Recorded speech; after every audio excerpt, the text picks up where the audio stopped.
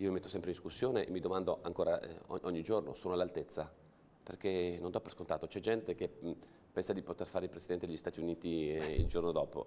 Io mi metto molto in discussione, ho molti dubbi anche sulle scelte che faccio, le difficoltà che ci sono, non penso che esistano eh, verità assolute e quindi uno deve riflettere per fare bene le scelte. Capisco che oggi è di moda la politica eh, renziana degli 80 euro, la spariamo e, e non c'è problema, ci sono io, è tutto risolto, la politica di Fonzi, ok. Presidente, dicono che abbia il problema delle, dico problema tra virgolette, delle, delle quote rosa delle donne in giunta. Quello che era in cassetto che ah. diceva prima, quale nome ha pensato che che farò, ripeto, alla fine, è una donna, per esempio. Ah, ok. È una donna che, non, che, aveva... che, le dico seconda cosa, che non è uscita da nessuna parte, sono convinto che non è da mai perché nessuno può pensare che pensa a questa persona. L'idea che aveva prima di diventare presidente L'idea che prima di diventare presidente, l'idea ah. che confermo oggi. È una donna? È una donna che non ne parla nessuno e non ne parla nessuno finché non farò il nome, sono convinto perché... È una leghista?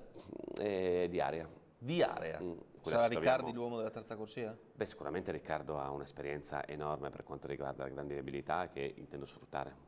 Mm, eh, così ci infilo Scocimaro Sport.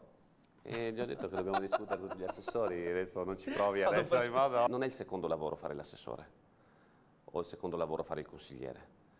Magari c'è qualcuno che teneva lo studio aperto lo stesso mentre faceva assessore consigliere. Ecco, quello è inaccettabile.